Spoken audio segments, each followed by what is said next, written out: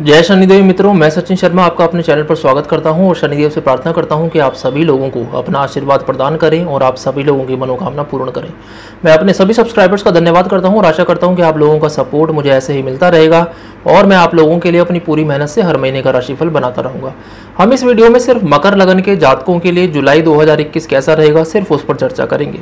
देखिए, इस वीडियो के अलग अलग सेक्शन में हम चर्चा करेंगे आपके कैरियर संबंधित जुलाई का महीना कैसा रहेगा आपके फाइनेंस संबंधित, जुलाई का महीना कैसा रहेगा?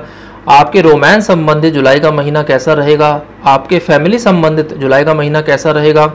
आपके स्वास्थ्य संबंधित, जुलाई का महीना कैसा रहेगा? और अंत में हम चर्चा करेंगे उन महत्वपूर्ण उपायों की, जिन्हें जुलाई के महीने में करने से आपको लाभ प्राप्त होगा। तो यदि आपकी कुंडली के प्रथम भाव में 10 नंबर लिखा है और उसके साथ उसी भाव में एल ए लिखा है, जैसा कि आप देख रहे हैं और यदि आप अपनी कुंडली हिंदी में देख रहे हैं तो वहाँ प्रथम भाव में एल ए के स्थान पर हिंदी में ल लिखा होगा। तो यह मासिक राशिफल जुलाई 2021 आपके लिए है। बाकी सभी लग्न के लिए आप मेरे दूसरे वीडियो देख सकते हैं। देखिए, इस महीने में सूर्य देव का और मंगल देव का बहुत ही महत्वपूर्ण राशि परिवर्तन है और इन राशि परिवर्तन का आपके कैरियर पर, आपके पारिवारिक जीवन पर, आपके स्वास्थ्य पर, आपके फाइनेंसिस पर क्या प्रभाव पड़ सकता है, इन सभी विषयों पर डिटेल में हम इस वीडियो में चर्चा करेंगे। तो चलिए आगे बढ़ते हैं सर्वप्रथम बात करते हैं आपके कैरियर संबंधित जुलाई का महीना कैसा रहेगा। एक से छह जुलाई तक का समय आपकी कुंडली कुछ इस प्रकार दिखेगी, जैसा आप देख रहे हैं। यहाँ पर शनिदेव आपकी कुंडली के लगन भाव में है, गुरु आपकी कुंडली के दूसरे भाव में है, केतु आपकी कुंडली के ग्यारहवें भाव में है, राहु और बुद्ध की युति आपकी कुंडली के पंचम भाव में है, सूर्यदेव आपकी कुंडली के छठे भाव में है, शुक्रदेव और मंगलदेव की युति आपकी कुंडली के सप्तम भाव में है। तो चलिए चर्चा करते हैं कि इन सभी ग्रहों का आपके कैरियर पर क्या प्रभाव पड़ सकता है। वर्तमान समय में राहु और बुध की युति आपकी कुंडली के पंचम भाव में है। यहाँ पर आपके दिमाग में किसी प्रकार का भ्रम उत्पन्न हो सकता है। आप यदि किसी भी प्रकार के हाई रिस्क टेकिंग बिज़नेस में हैं, जैसे शेयर ट्रेडिंग में तो आपको यहाँ थोड़ा सावधान रहना होगा। विद्यार्थियों को भी यहाँ अपनी पढ़ाई को लेकर थोड़ी समस्या उत्पन्न हो सकती है। आपका कंसंट्रेशन आपकी एकाग्रता, आपकी पढ़ाई को लेकर यहाँ थोड़ी कम हो सकती है। आपका दिमाग थोड़ा विचलित रह सकता है, जिसके कारण आपका मानसिक तनाव यहाँ बढ़ सकता है। राहु और बुद्ध की युति का आपके पारिवारिक जीवन पर क्या प्रभाव पड़ सकता है, इस पर हम अपने फैमिली रिलेटेड सेक्शन में चर्चा करेंगे। वर्तमान समय में सूर्यदेव आपकी कुंडली के छठे भाव में है। सूर्यदेव आपकी कुंडली में अष्टम भाव के स्वामी हैं, जिसके कारण यहाँ पर आपको आपके कॉम्पिटिटर्स अर्थात प्रतिद्वंदियों पर विजय हासिल हो सकती है।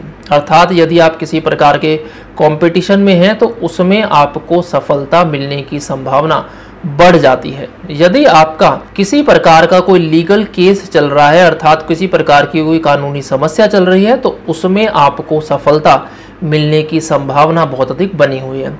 यहाँ पर आपको विदेश से संबंधित किसी प्रकार के बिज़नेस में, किसी प्रकार के कार्य में अप्रत्याशित लाभ भी मिल सकता है। छठे भाव का सूर्य आपके कार्य के प्रति अधिक रिस्पॉन्सिबल बनाता है, अधिक सीरियस बनाता है, जिसके कारण आप अपने वर्क लाइफ को बैलेंस करने में असमर्थ महसूस करते हैं, जिसका आपके वैवाहिक जीवन पर भी दुष्प्रभाव पड़ सकता है, जिस पर हम अपने फैमिली रिलेटेड सेक्शन में चर्चा करेंगे। आप यदि कोई वाहन चलाते हैं तो आप थोड़ा सावधान रहें। जो जातक रियल स्टेट के कार्य से जुड़े हैं, जो जातक माइनिंग के कार्य से जुड़े हैं, ऐसे जातकों को यहाँ बहुत ही शुभ फल देखने को मिल सकते हैं। आपके कार्य में तीव्रता से वृद्धि होने की संभावना बनी हुई है कुछ शुभ अवसर आपको यहाँ मिल सकते हैं। यहाँ पर ऐसे जातकों को भी कुछ शुभ फल मिलते दिखाई देंगे। जो लोग विदेश जाना चाहते हैं, जो लोग किसी प्रकार के इंपोर्ट एक्सपोर्ट के कार्य से जुड़े हैं। सूर्य देव का छठे भाव में होना आपके स्वास्थ्य पर क्या प्रभाव डालेगा, इस पर हम अपने स्वास्थ्य संबंधित सेक्शन में चर्चा करेंगे। वर्तमान समय में शनिदेव आपकी कुंडली के लगन भाव में है। और लगन भाव के स्वामी भी हैं, जिसके कारण वर्तमान समय में शश पंच महापुरुष योग आपकी कुंडली के लगन भाव में है। परंतु वर्तमान समय में शनिदेव वक्री अवस्था में है। यदि शनिदेव प्रथम भाव में होते हैं तो ऐसे जातक का जीवन बहुत ही डिसिप्लिन होता है। ये आपको बहुत ही अनुशासित बनाते हैं। ऐसे जातक के जीवन में स्ट्रगल थोड़ा बढ़ जाता है। आपको आपकी मेहनत का जो फल मिलना चाहिए, वो आपके जीवन में 40 की आयु के बाद मिलता है। जी हाँ यदि शनिदेव आपकी कुंडली के प्रथम भाव में है तो आपको आपकी मेहनत का जो फल मिलेगा, वो आपको 40 वर्ष की आयु के बाद मिलना प्रारंभ होगा। शनिदेव का प्रथम भाव में होना आपके लिए एक परीक्षा की घड़ी है। अर्थात, जो जातक जल्दी अपनी मेहनत का फल चाहते हैं अथवा हम कहें, जो बहुत तेज़ी से अमीर बनना चाहते हैं, पैसा कमाना चाहते हैं, ऐसे जातकों को यहाँ मानसिक परेशानी बहुत अधिक बढ़ सकती है, इसका आप विशेष ध्यान रखें। शनिदेव का प्रथम भाव में होना आपकी सोच में एक स्थिरता देता है। यहाँ पर आपके कार्यों को पूर्ण होने में थोड़ा समय लग सकता है। अर्थात शनिदेव के वक्री होने के कारण यहाँ पर आपके कार्य थोड़ी धीमी गति से आगे बढ़ेंगे। ये परीक्षा की घड़ी है और आपने परेशान होकर अपनी मेहनत को रोकना नहीं है और अपनी पूरी मेहनत करनी है, जिससे आने वाले समय में आपको पूर्ण लाभ मिल सके। शनिदेव का प्रथम भाव में होना यह दर्शाता है कि आपको आपकी मेहनत का फल देर से मिलेगा, परंतु इस बात का आपने सदैव ध्यान रखना है कि आपको उसकी मेहनत का फल, अर्थात आपको अपनी मेहनत का फल अवश्य मिलेगा, चाहे वो विलंब से मिले। और शनिदेव एक ऐसे ग्रह हैं, जब ये आपको आपकी मेहनत का फल देंगे तो ये अन्य ग्रहों से बहुत अधिक देते हैं और आपकी मेहनत अनुसार देते हैं। यदि आप मेहनत नहीं करेंगे तो आपको लाभ भी उसी के अनुसार मिलेगा। इस बात का भी आप विशेष ध्यान रखें। यहाँ पर आपको किसी प्रकार का कोई नया अवसर आपके कार्य के प्रति मिल सकता है, आपके कार्य में मिल सकता है। ऐसा किसी भी प्रकार का कोई छोटा सा अवसर आपको आने वाले समय में बहुत ऊंचाइयों पर लेकर जा सकता है। ये समय आपके जीवन में 30 वर्ष पश्चात आया है। इस समय का आप अधिक से अधिक मेहनत करके, अधिक से अधिक लाभ प्राप्त करने की आप कोशिश करें, जिससे आपको आने वाले समय में शनिदेव के इस प्लेसमेंट के अत्यंत शुभ फल देखने को मिलेंगे। जो लोग पब्लिक डीलिंग जैसे कार्य से जुड़े हैं, जो लोग राजनीति से जुड़े हैं, ऐसे जातकों को यहाँ पर बहुत ही शुभ फल देखने को मिल सकते हैं। यहाँ पर आपकी समाज में छवि बनेगी, जिसके कारण आपको बहुत अधिक लोग यहाँ पर जानने लगेंगे, जिससे आपकी सोशल इमेज भी यहाँ पर बढ़ती दिखाई देगी। वर्तमान समय में गुरु आपकी कुंडली के दूसरे भाव में है, जैसा आप देख रहे हैं, जहाँ से गुरु की दृष्टि आपकी कुंडली के छठे भाव पर, अष्टम भाव पर और दशम भाव पर होगी। दूसरे भाव का गुरु आपको scientist, engineer, singer, musician, painter, actor इस प्रकार की फ़ील्ड में, इस प्रकार के प्रोफेशन में आगे लेकर जाता है। गुरु का दूसरे भाव में होना आपको किसी भी प्रकार के लड़ाई झगड़े से दूर रखता है, जिससे आपकी मानसिक परेशानी जीवन में थोड़ी कम रहती है। आपको आपके कार्य संबंधित भी मानसिक परेशानी गुरु के इस प्लेसमेंट के कारण थोड़ी कम देखने को मिलेगी। गुरु की दृष्टि आपकी कुंडली के दशम भाव पर होने के कारण, यदि पिछले कुछ समय में आपको आपकी नौकरी को लेकर किसी प्रकार का मानसिक तनाव चल रहा था तो वो यहाँ दूर होगा। यदि आप नौकरी ढूंढ रहे थे और आपको उसमें सफलता नहीं मिल पा रही थी तो उसमें आपको कुछ सफलता मिलने की संभावना यहाँ बनी हुई है। इसका आपके स्वास्थ्य पर क्या प्रभाव पड़ सकता है, इस पर हम अपने स्वास्थ्य संबंधित सेक्शन में चर्चा करेंगे। यदि आपका किसी प्रकार का कोई पारिवारिक बिज़नेस चल रहा है तो उसमें आपको धीरे धीरे वृद्धि होती दिखाई देगी। आपको अपने पारिवारिक जीवन में सकारात्मक परिणाम देखने को मिलेंगे।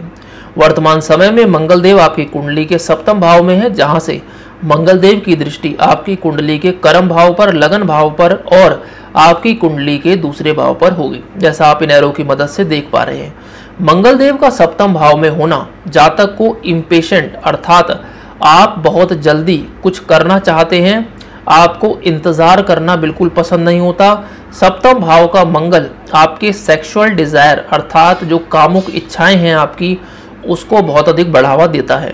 और ये आपको एक्स्ट्रा मैरिटल अफेयर भी करवाने में सक्षम होता है, जिससे आपके पारिवारिक जीवन पर इसका बहुत ही नकारात्मक प्रभाव पड़ सकता है।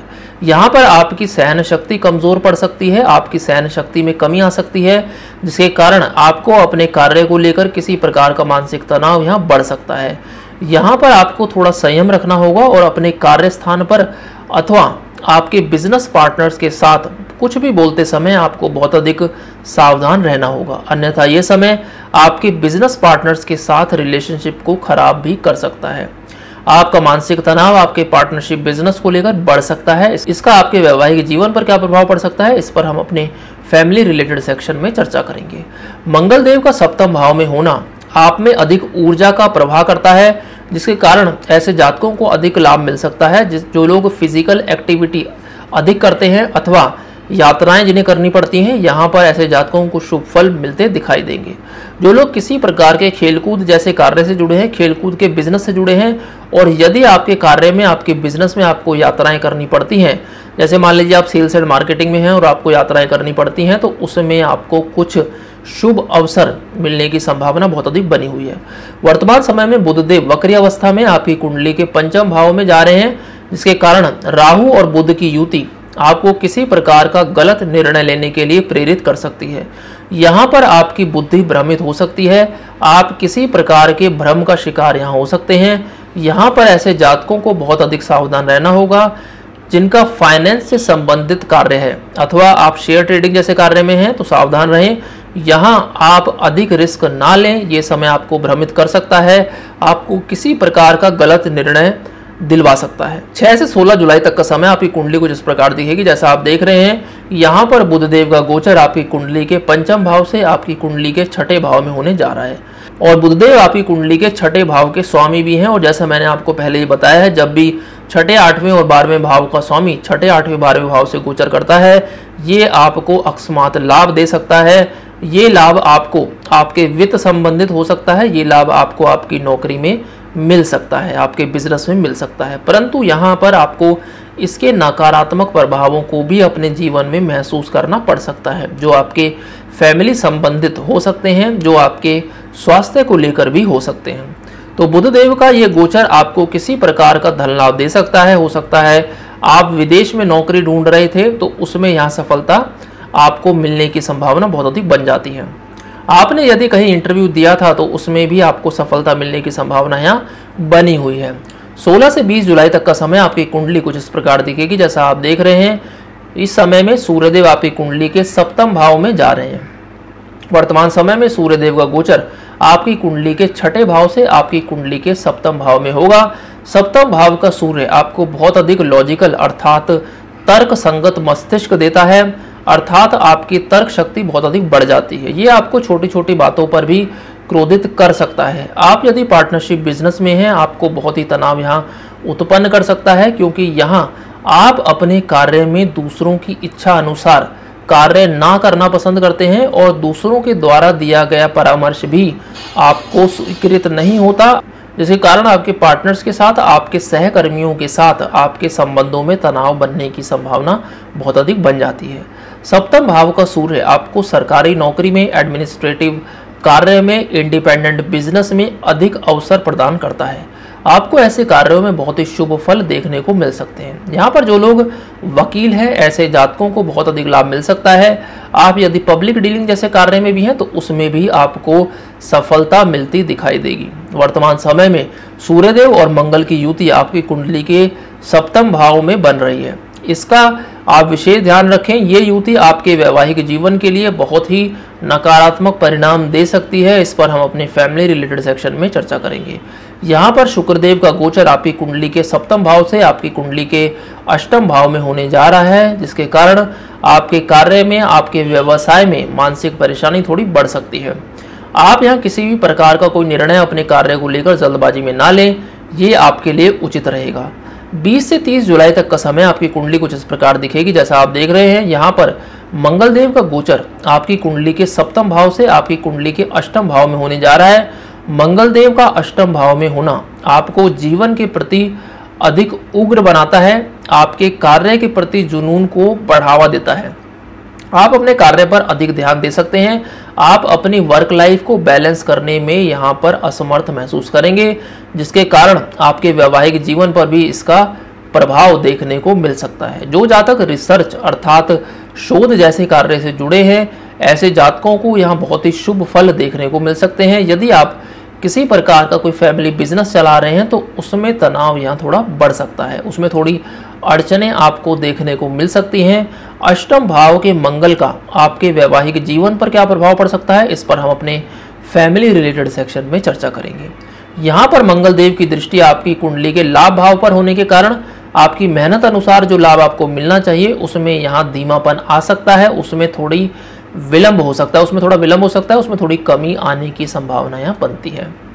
बुधदेव का गोचर आपकी कुंडली के छठे भाव से आपकी कुंडली के सप्तम भाव में होने जा रहा है, जिसके कारण आपके पार्टनरशिप बिज़नेस में तनाव अधिक बढ़ सकता है, आपके निर्णय लेने की क्षमता कमज़ोर पड़ सकती है। इस बात का विशेष ध्यान रखें और अपने पार्टनरशिप बिज़नेस के प्रति किसी भी प्रकार का कोई बड़ा निर्णय जल्दबाजी में ना लें। तो ये था आपके कैरियर संबंधित। जुलाई का महीना कैसा रहेगा? तो चलिए आगे बढ़ते हैं, बात करते हैं आपके स्वास्थ्य संबंधित जुलाई का महीना कैसा रहेगा? यदि आपको पेट के निचले हिस्से से संबंधित और नसों से संबंधित किसी प्रकार की कोई बीमारी है तो वर्तमान समय में आपको बहुत अधिक परेशान कर सकती है। जो महिलाएँ गर्भवती हैं, उन्हें 20 जुलाई के बाद का समय बहुत अधिक सतर्क रहना होगा। इस समय आप किसी भी प्रकार का कोई ऐसा कार्य ना करें, जिसके कारण आपको मानसिक परेशानी बढ़े अथवा आपके स्वास्थ्य पर उसका दुष्प्रभाव पड़े। यदि आप वाहन चलाते हैं अथवा आप जिम करते हैं तो आपको 20 जुलाई के बाद का समय बहुत अधिक सतर्क रहना होगा। 13 से 15 जुलाई और 21 से 23 जुलाई के बीच आपका मानसिक तनाव बहुत अधिक बढ़ सकता है। आपको नींद आने में समस्या यहाँ हो सकती है, आपकी बेचैनी बहुत अधिक बढ़ सकती है। आप थोड़ा सतर्क रहें, आपको क्या उपाय करने हैं मैंने उपाय सेक्शन में बताए हैं। आप वो अवश्य करें, आपको लाभ मिलेगा। तो ये था आपके स्वास्थ्य संबंधित जुलाई का महीना कैसा रहेगा तो चलिए आगे बढ़ते हैं, बात करते हैं आपके फाइनेंस और वित्त संबंधित जुलाई का महीना कैसा रहेगा। 6 से 16 जुलाई तक का समय आपके वित्त में बढ़ोतरी होती दिखाई देगी। आपका मानसिक तनाव, आपके फाइनेंसिस को लेकर जो चल रहा था, वो यहाँ समाप्त होगा।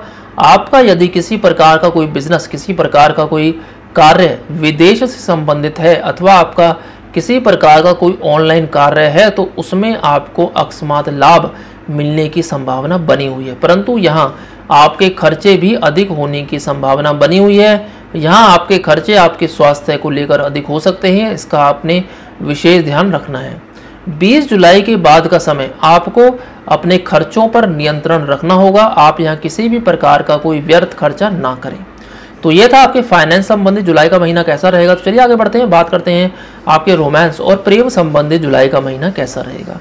जो लोग सिंगल हैं वो 10 से 13 जुलाई के बीच, आप किसी प्रकार के रिलेशनशिप में, आप किसी प्रकार के प्रेम संबंध में पढ़ सकते हैं।